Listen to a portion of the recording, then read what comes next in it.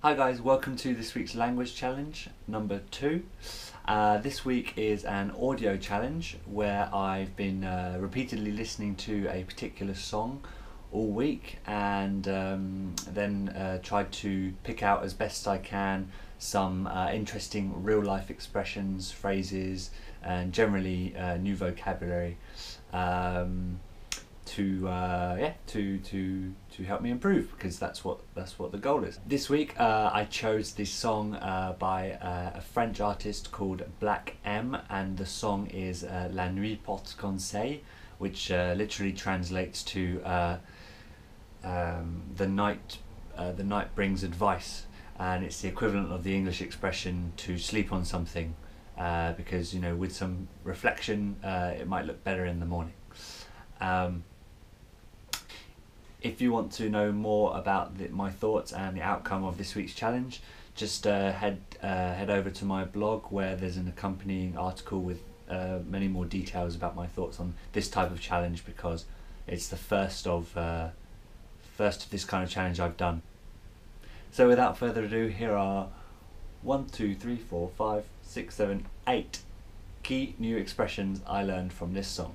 One, je dois tout donner dans mon présent. I must give everything in in the present moment. And I like this because it applies to, uh, well, many things in life, but it, it definitely applies to language learning. You should not think too much about the past or the future. Just choose your goals now and act on them and uh, concentrate on the present. Two, le feu de l'action. Le feu de l'action literally means the fire of the action. And this translates to the uh, English equivalent, which is uh, the heat of the moment. So you know we all do things in the heat of the moment, um, and uh, I like this because it's always fun to find out the uh, equivalents of our own expressions in another language, especially when they don't just directly translate. Three. Être déboussolé. So this is about the adjective déboussolé, which I had never heard before. In fact, when I was hearing the song, I thought he was saying début soleil, like beginning sun. But it's that key U, uh, OU and U sounds. They're different and they're hard for English speakers to pick up on. So it's début soleil, déboussolé, and it means to be disorientated, to be confused, or to be uh, in a bit of a mess. You know, um, like when you're learning a language, you're always saying stuff like, "Oh, yeah, sorry, I understood what you meant. Uh, I was just in a mess. I, was thinking of something else. Four. Avoir les yeux rivés. Avoir les yeux rivés. Uh, I like this. So this is a focus on the adjective rivé, which is also the past tense of the verb rivé, which means to rivet. But figuratively speaking, it means that uh, to be riveted on something, and in this case, have have one's eyes riveted or glued or stuck to or focused on uh, a particular thing. In the song, he says, avoir les yeux rivés vers le ciel, just staring into the sky. Les yeux rivés. I'm going to remember that one. Five. Now, this is a way of saying um, in English, I may something something, but something something. Um, so in French, it's j'ai beau, j'ai beau, as in beau for beautiful. J'ai beau plus a verb in the infinitive plus whatever you want to say, followed by me.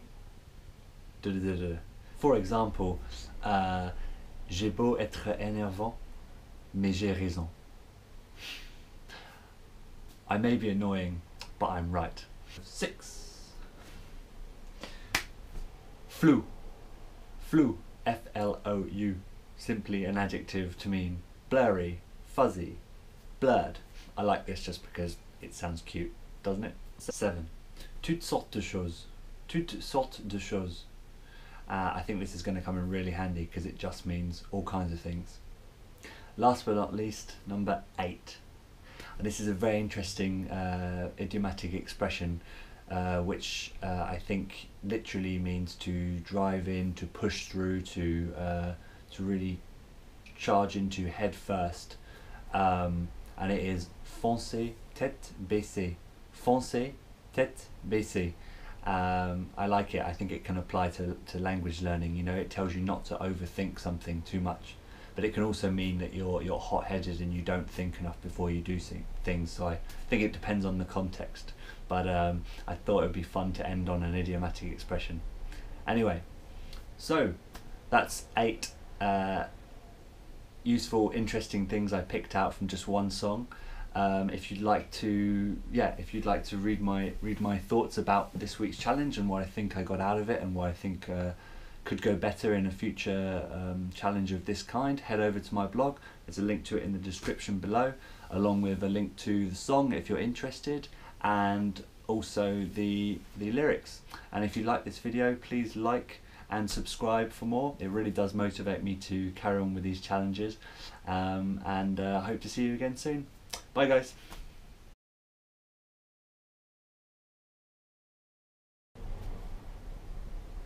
I just wanted to show you my new t-shirt.